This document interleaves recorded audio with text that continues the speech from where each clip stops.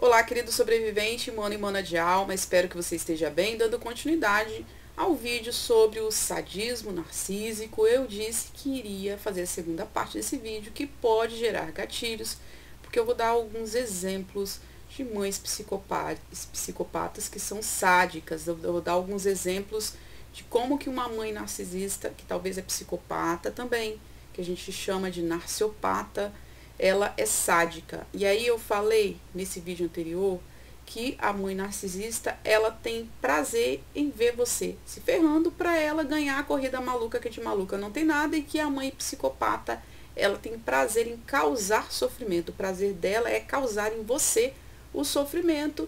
E é nessa dinâmica aí da mãe narcisista com o narcisismo sádico, que é aquele sorrisinho de canto de boca quando você não consegue passar na prova? Pois é, não é desse que a gente vai falar hoje. A gente vai falar do sadismo puro mesmo, sadismo de psicopata, tá? Então vai dar gatilho, se você não tá num dia legal, você para um outro dia para assistir esse vídeo. Eu sou Virginia Cosa, sou psicanalista clínica e aqui eu falo sobre mães narcisistas, por vezes mães psicopatas, narciopatas, né, que são as narcisistas com as psicopatas. Tem uma playlist aqui só sobre os cluster B. Se você não assistiu, assista.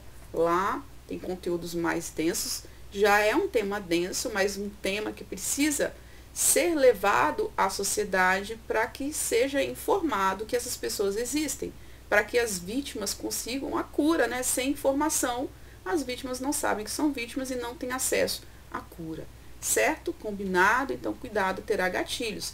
Um exemplo aqui de uma mãe é, psicopata sádica e, e, talvez, e talvez por vezes até narcisista, né? Ela manipula o seu pai e ela pode ser meio oculta, narcisista oculta barra psicopata e convence o seu pai dele bater em você.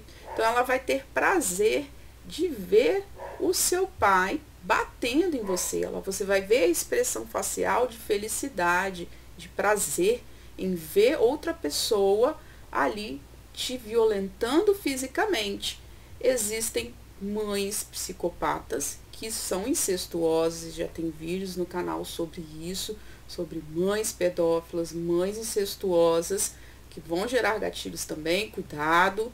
Elas também podem não provocar o sofrimento, mas ver alguém ali abusando de suas filhas e seus filhos, causando sofrimento. Então isso, gente, é perversão.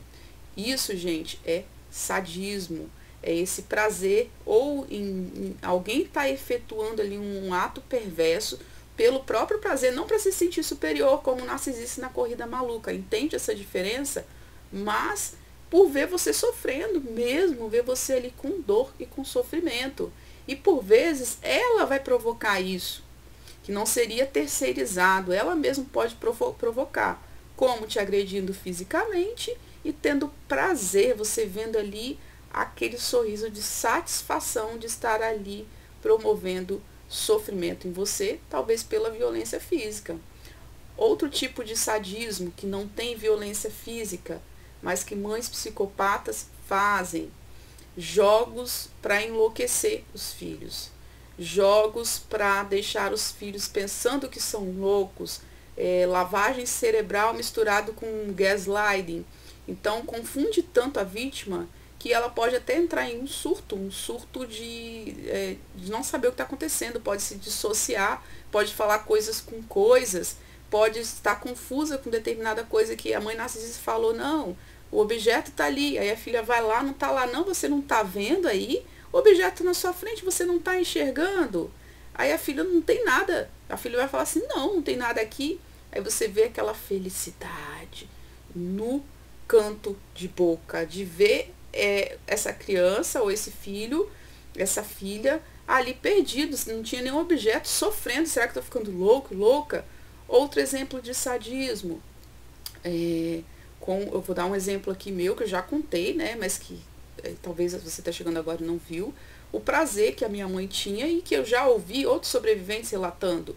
Ela me largou na feira, eu tinha cinco anos, e me deixou sozinha, soltou a minha mão e deixou eu me perder e quando eu visualizei ela, né, uma pessoa, uma mulher me socorreu, eu vi ela de longe, escutei as gargalhadas dela.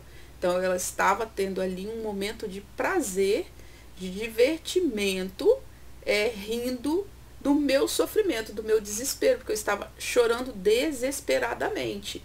Hum, outra coisa que já me relataram e que eu também passei, né? Para quem não sabe, eu também sou sobrevivente, né? Vocês estão chegando aqui agora. É, os pais se agarrando na frente dos filhos e os filhos entrando em desespero, afinal são crianças, não entendem o que está acontecendo ou não gostam do pai porque o pai é violento, ou não gostam da mãe, mas gostam do pai. E eles estão ali, tem um pouco a ver com perversão sexual, que eu vou fazer um vídeo só sobre perversão sexual dessa mãe psicopata ou esse pai psicopata, enfim, os dois juntos, eles se atracando para causar sofrimento na criança e a criança chorando desesperadamente, eles estão que se divertindo. Também eu já dei um outro exemplo esses dias, né? Eu, eu fiz o um vídeo sobre a mãe narcisista que corta o cabelo da filha curto e comentei, né, que o prazer deles era me causar é, sofrimento quando eu chorava, botavam um espelho na minha, me provocavam com esse tipo de sadismo de ficar se agarrando ou ficar provocando, até eu chorar e botar o espelho na minha frente e falar, olha só como você é feia chorando. Eles se divertiam também quando eu estava nesse sofrimento. Enfim, o leque da maldade, gente, ele é muito criativo, infelizmente. Se essas pessoas ruins usassem a criatividade delas para as coisas boas, o mundo estaria bem melhor, mas eles usam para cometer mal, maldades. E eles têm prazer em maldades assim mais absurdas e mais bizarras. Eu não vou encher você de gatilho, né? Você que está aí do outro lado, mas para você ter uma dimensão do que se trata. Essas mães com perfil psicopata, elas têm prazer em ver o desespero no filho, na filha em ver o sofrimento, em ver a pessoa ali desesperada, né? Então, lógico que isso não é normal e para quem duvida que isso é real, tem livros sobre isso, tem conteúdos, a ciência fala isso, né? Não é fictício, só quem passou sabe, né? O que uma mãe psicopata ou psicopata e narcisista ou narcisista é capaz de fazer com o filho todo esse sadismo. Esse tipo de perversidade, gente, fica só entre psicopatas e narcisistas. Não é um perfil dos outros transtornos da categoria B, não. É mais perfil da mãe narcisista, que tem o sadismo de ver você se ferrando e a mãe psicopata em causar ali o sofrimento ou ter prazer em ver alguém executando ali o sofrimento em você. Querido, querido e querida, você que foi vítima dessas barbaridades, meus sinceros sentimentos a você, porque você sobreviveu a muita coisa né? Que você junte toda a energia que você tem para se reconstruir, para ser feliz, porque é isso que você merece. Você não merece uma vida de sofrimento.